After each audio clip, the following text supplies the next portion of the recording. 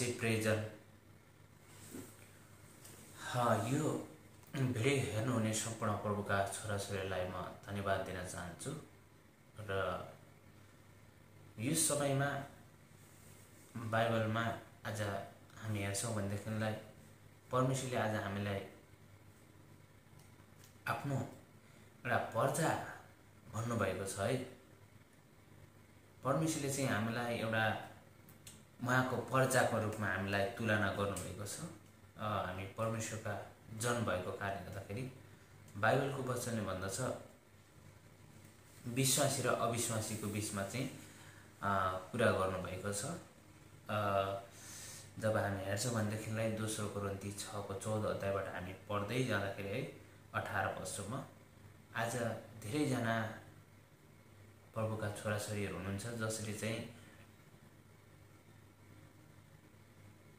कुन तरिकाले बाइबल पढ्नुहुन्छ हामीलाई थाहा भएन तर चाहिँ उहाँहरूले चाहिँ धेरै संसारको कुराहरूमा रमाउँदै गरेको र संसारिक गीतहरूमा है संसारको धेरै चिजहरूमा रमाउँदै गरेको हामी देख्दछौँ। तर चाहिँ बाइबलले भन्छ हामीले मनलाई फिराउन जरुरी छ हाम्रो मन परिवर्तन हुन जरुरी छ।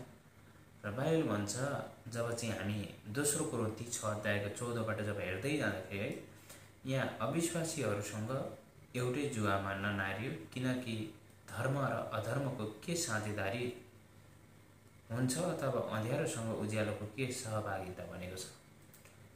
तपाईँलाई थाहा छ यीशु ख्रिस्टले भन्नुभयो हामीले एउटा उसको विषयमा तुलना गर्नुभएको छ एउटा नुन र ज्योतिको बारेमा तुलना गर्नुभएको छ है? हामी नुन जस्तो हुनुपर्छ र एउटा लाइट जस्तो हुनुपर्छ। लाइटले के गर्छ भन्दाखेरि जहिले पनि उज्यालो दिने काम गर्छ। अनि त्यही जहाँनिर लाइट हुन्छ नि त्यहाँनिर उज्यालो हुन्छ जब लाइट हुँदैन त्यहाँनिर अँध्यारो हुन्छ र त्यहाँनिर पनि एउटै कुरा भनेको छ हामी एउटा विश्वासी भएको कारणले गर्दाखेरि संसारको कुरामा नारिनु हुँदैन संसारको कुरालाई हामी त्यति महत्त्व दिनु हुँदैन। यदि कोही परमेश्वरका जनहरूले यो भिडियो हेर्नुहुन्छ भने तपाईँले बाइबल पढ्नुहोस् है। मैले आफैले बताउनु भन्दा पनि बाइबलको वचनले के भन्छ भनेदेखिलाई जब तपाईँ आफै बाइबल पढ्नुहुन्छ नि त्यति बेला बुझ्नुहुन्छ। जब तपाईँले बाइबल पढ्नुहुन्न प्रार्थना गर्नुहुन्न सङ्गति तपाईँको जीवनमा छैन भनेदेखिलाई तपाईँ चाहिँ संसारिक कुराहरूमा रमाउन थाल्नुहुन्छ। है? म यहाँ सानो पदहरू पढेर हजुरको माझमा राख्नेछु। विशेष गरी यहाँनिर दोस्रो कोरन्थी छको चौध पदमा है अब संसारको एउटा हलमा नरा ननारियो भनेको चाहिँ तपाईँको जुवामा ननारियो भनेको चाहिँ जब हामी क्रिस्ट भइसकेपछि हामीलाई यीशुलाई विश्वास गऱ्यौँ ग्रहण गरिसकेपछि हामी अलग भएका छौँ। हामी संसारको पर्जा होइन तर परमेश्वरको पर्जा भएका छौँ। त्यही भएर चाहिँ हाम्रो रहन सहन सबै कुराहरू अलग्गै हुनुपर्छ र हाम्रो बोली वचन सबै कुराहरू अलग्गै हुनुपर्छ। अनि हामीलाई टोटली चेन्ज गर्नुहुने हाम्रो परमेश्वरको वचन हो। हामी कुनै मान्छेले भनेको कुराहरू है कतिचोटि हुनसक्छ कसैद्वारा परमेश्वर बोल्नुहुन्छ तर पनि जबसम्म तपाईँले बाइबल पढ्नुहुन्न नि तपाईँलाई यस्तो लाग्छ उसले झुट बोल्दैछ। तर क्रिस्चियनहरूले जब तपाईँसित बातचित गर्नुहुन्छ त्यति बेला उहाँले बाइबलद्वारा नै बोल्नुहुन्छ। बाइबलको इलावा जानु हुँदैन र बाइबलले पनि मना गर्छ। एउटा परमेश्वर एउटा बिन्दु पनि न घटाइनेछ न बढाइनेछ भने बाइबलले भन्छ। अनि त्यही भएको कारणले गर्दाखेरि बाइबल जब तपाईँ आफै पढ्नुहुन्छ तप तपाईँले चाहिँ बाइबलले के भन्दैछ हामीले के सिकाउँदैछ हामी जान्नुपर्छ है? अनि एउटै जुवामा ननारिनु भनेको कारण चाहिँ के भन्दाखेरि हामी विश्वासी भएर पनि हामी संसारको कुरामा धेरै लागिरहेका हुन्छौँ अनि हामी परमेश्वरबाट टाढा हुन्छौँ सङ्गति जान छोड्छौँ है? हामीलाई राम्रो ड्युटी मिलोस् त भोलि चाहिँ हामी सङ्गति जान छोड्छौँ। तर हाम्रो एउटा बाना हुन्छ कि मेरो छुट्टी भएन है? त्यस्तो यस्तो कुराहरूमा। र हामी अरू चाहिँ दुनियाँभरको गर्छौँ तर परमेश्वरलाई हामी समय दिन एकदमै बाना बनाउने कामहरू गर्छौँ। अनि संसारको गीतहरूमा रमाउन थाल्छौँ संसारको कुराहरूमा हामी रमाउन थाल्छौँ संसारको चिजहरूमा अल्झिन थाल्छौँ सबै चिजहरू संसारमा पाउँछ। तर तपाईँलाई थाहा छ परमेश्वरको वचनले के भन्छ भन्दाखेरिलाई जुन जीवन छ नि तपाईँको यहाँको जीवन के हो भन्दाखेरि यो मरेर जाने जीवन हो। तर क्रिस्ट त्यसै आउनु भएन उहाँले चाहिँ त्यो मर्ने खालको जीवन लिएर आउनु भएन। उहाँले चाहिँ अनन्त जीवन लिएर आउनुभयो जुन अनन्त जीवनमा तपाईँ पस्नको लागि क्रिस्टलाई विश्वास गरेर बाइबल पढेर है बुझेर अनि उहाँको वचनअनुसार त्यो जीवन बिताउन जरुरी छ। बाइबलको आधारित हाम्रो जीवन छैन भनेदेखि हामी संसारको कुरामा छौँ। एउटै चुवामा नारिएर हुन्छौँ। त्यही भएर चाहिँ यहाँ भन्छ क्रिस्टको बे बेली आलसँग के सरोकार र विश्वास है गर्नेको विश्वास नगर्ने के समानता भनेको छ। संसारको मान्छेलाई के थाहा? उनीहरूले चाहिँ उनीहरू त पहिलेदेखि त्यस्तै चिजमा रमाइरहेका छन् तर विश्वासी पनि तिनै कुराहरूमा रमाउँदै गरेको हामी देख्छौँ कतिचोटि भिडियोहरू युट्युबमा टिकटकमा फेसबुकमा है इन्स्टाग्राममा हामी भिडियो जब हेर्दै गर्दाखेरि क्रिस्चियन जनहरू पनि धेरैचोटि त्यहाँनिर हामी रमाइरहेका हामी देख्छौँ। अहिले पनि उनीहरूको स्वभाव उनीहरूको आचरणहरू उनीहरूको हरेक चिजहरू संसारकै कुरामा रमाइरहेका हामी देख्दछौँ। तर प्रियजन तपाईँले जे पनि गर्नुहुन्छ तपाईँले परमेश्वरले जान्नुहुन्छ र देख्नुभएको छ र तपाईँ क्रिस्चियन भएको कारणले गर्दाखेरि तपाईँले तपाईँको आफ्नै बेजेती भन्दा पनि बाइबलको बेजेती नगर्नुहोस् है। क्रिस्टको विरोध नगर्नुहोस् क्रिस्टको बेजेती नगर्नुहोस्। किनकि बाइबलले एउटा कुरा के भन्छ भन्दाखेरि जसले हामीलाई जब कतै जाँदै गर्दाखेरि कसैले पानी पिलाउँछ या त कसैले हामीलाई आदर गर्छ सम्मान गर्छ भने हामीलाई होइन तर यीशु क्रिस्टलाई है। उहाँलाई पठाउनु हुनेलाई त्यो आदर गर्छ भनेको छ बाइबलले। जब चाहिँ हामी क्रिस्चियनले जब तिनी संसारको कुरामा रमाउन थाल्छौँ नि संसारका गीतहरूमा गाउन थाल्छौँ प्रियजनहरू तपाईँको साथीभाइहरू पनि क्रिस्चियन हुनुहुन्छ भने उहाँले तपाईँलाई के भन्नुहुन्छ थाहा छ? यो त क्रिस्चियन हो त यो त कस्तो बिग्रेको रहेछ। अहिले चाहिँ बिग्रेछ नि। ब्यासलाइट भएछ। हेर्नुहोस् त यो संसारको गीतहरूमा रमाउँदैछ भने चाहिँ उनीहरूले कुरा काट्न थाल्छ। तर परमेश्वरको वचनले के भन्छ तपाईँलाई थाहा छ?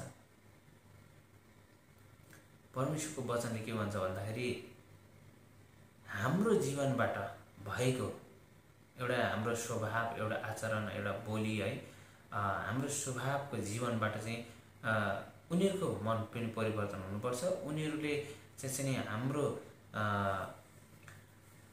जीवनलाई देखेर उनीहरूको मन परिवर्तन हुनुपर्छ। आज हामी त्यस्तो भएका छौँ कि छैन? आज हाम्रो सुकर्म कस्तो छ? हाम्रो बोली वचन स्वभाव कस्तो भइरहेको छ? हामी क्रिस्चियनमा आइसकेपछि टोटली हाम्रो चेन हुन जरुरी छ। त्यही भएर चाहिँ परमेश्वरको वचन के भन्छ थाहा छ? म ती पाँच अध्यायको सोह्र पदमा चाहिँ हामी क्रिस्चियनहरूको जब चाहिँ सुकर्म देखेर चाहिँ है अरू मानिसको जीवनबाट परमेश्वरको महिमा हुनुपर्छ भनेको छ अब हाम्रो जीवनै संसारको कुराहरूमा रमाउँदैछौँ भने कसरी हाम्रो जीवन परिवर्तन हुनसक्छ हाम्रो छिमेकीले देखिरहेको हुन्छ हाम्रो पडोसीले है आफन्तहरूले देख्नुभएको हुन्छ। त्यही भएर चाहिँ हामी त्यस्तो नगरौँ। अनि यहाँनिर मूर्तिहरूसँग परमेश्वरको मन्दिरको के सम्झौता? किनभने हामी जीवित परमेश्वरका मन्दिर हौँ जसरी परमेश्वरले भन्नुभएको छ। हललुया। किनकि परमेश्वरले चाहिँ हामीलाई एउटा यस्तो मन्दिर बनाउनु भयो जो संसारको जो मन्दिर होइन तर हामीलाई अर्कै मन्दिर परमेश्वरले बनाउनु भएको छ। पवित्र मन्दिर पवित्र आत्माको मन्दिर। त्यही भएर चाहिँ संसारको मन्दिरबाट हामीलाई केही सम्झौता छैन। यहाँ भन्छ म तिनीहरूका तिमीहरूमा बास गर्नेछु र तिनीहरूका बिचमा हिन्डुल गर्नेछु र म तिमीहरू तिनीहरूका परमेश्वर हुनेछु अनि तिनीहरू मेरा पर्जा हुनेछन्। त्यो कस्तो पर्जा हुनेछन् भन्दाखेरि कस्ता मानिसहरू त्यस्ता हुनेछन् भन्दाखेरि जो परमेश्वरको वचनअनुसार हिँड्छन् परमेश्वरको अनुसार जिउँछन् बाइबलले जे भन्छ त्यो कुराहरू गर्छन् त्यही मात्रै परमेश्वरको पर्जा हुनेछ। अनि क्रिस्चियन भएर मात्रै रक्सी जाँडा खाने है व्यविचार गर्ने संसारको गीतहरूमा रमाउने त्यस्तो मानिसहरू संसारको कुराहरूलाई फलो गर्न थाल्ने है चोरी गर्ने विरोध गर्ने झुट बोल्ने त्यस्तो मानिस परमेश्वरको योग्य हुँदैन। तर त्यो चाहिँ परमेश्वरको पर्जा पनि हुँदैन है। अनि यहाँनिर सत्रले भन्छ यस कारण तिनीहरूका बिचमा निस्केर आऊ र बिचबाट निस्केर आऊ र तिनीहरूका तिनीहरूबाट तिमीहरू अलग हौ परमप्रभु हुनुहुन्छ। अशुद्ध कुरा केही नछ र म तिमीहरूलाई ग्रहण लुया तपाईँले जान्नुपर्छ। तपाईँले बाहिर पढ्नुहोस्। बुझ्नुहोस् परमेश्वरको वचन के भन्छ। अगर तपाईँले बुझ्न सक्नुहुन्न नि प्रार्थना गर्नुहोस्। है? एरिमिया तेत्तिस तिनले भन्छ के भन्छ भन्दाखेरिलाई? एरिमिया तेत्तिस तिनले के भन्छ? हामीले कतिचोटि हामीले बाहिर पढ्दै गर्दाखेरि हामीले बुझेका हुँदैन। त्यही कुरालाई उहाँले भन्नुहुन्छ। मलाई पुकार। म तँलाई सिकाउनेछु। रहस्यका कुरा। हामीले जुन कुराहरू जान्न सक्दैनौँ त्यो कुरा परमेश्वरले हामीलाई ज्ञान र बुद्धि दिनुहुन्छ। सिकाउनुहुन्छ। तपाईँ नजिक आउनु पऱ्यो उहाँको। बल्ल मात्रै उहाँ तपाईँको नजिक आउनुहुन्छ। घुट्नमा जानु पऱ्यो याकुब चारको आठ आठ पदले के भन्छ? तिम्रो नजिक आऊ र म तिमीहरूको नजिक आउनेछु। पापीहरू तिम्रो दोमनका नभन्नुभएको छ। अब हामी नै आउन चाहँदैनौँ भने उहाँ कसरी आउनुहुन्छ? यहाँ चाहिँ यस्तो पनि भन्छ। म तिमीहरूका पिता हुनेछु र तिमीहरू मेरा छोरा छोरीहरू हुनेछौ। सर्वशक्तिमान परमप्रभु हुनुहुन्छ। यसकारण हे प्रिय हो मसित यी प्रतिज्ञा भएका हुनाले शरीर र आत्माको हरेक किसिमको अशुद्धताबाट आफै हामी आफैलाई शुद्ध पारौँ र परमेश्वरको भयमा पवित्रतालाई सिद्धतर्फ बढाउँदै जाउँ। हले आज तपाईँ र हामीले यिनी कुराहरू बुझ्नुपर्छ। तपाईँले मैले जुन पदहरू पढिराखेको छु दोस्रो कुरन्ती छिएको चौध अध्यायबाट चाहिँ अठारसम्म अनि अर्को चाहिँ सातको चाहिँ एक पनि पढेको छु। त्यही दोस्रो कुरन्ती सातको एक पनि है? तपाईँले पढ्नुहोस् बुझ्नुहोस्। अगर यदि कसै प्रभुका छोराछोरी नभएर अरू कसैले पनि बुझ्न चाहनुहुन्छ भने हामीलाई फलो गर्नुहोस्। है? अनि हामीलाई कमेन्ट गर्नुहोस्। तपाईँले पनि परमेश्वरलाई बुझ्न जरुरी छ। परमेश्वरले चाहिँ हामी क्रिस्चियनलाई मात्र होइन तर सबैजनालाई उहाँ माया गर्नुहुन्छ।